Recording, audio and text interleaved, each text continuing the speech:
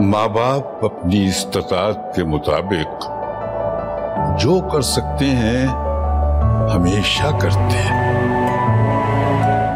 मगर औलाद को तब एहसास होता है जब वो उनसे बहुत दूर जा चुके होते हैं।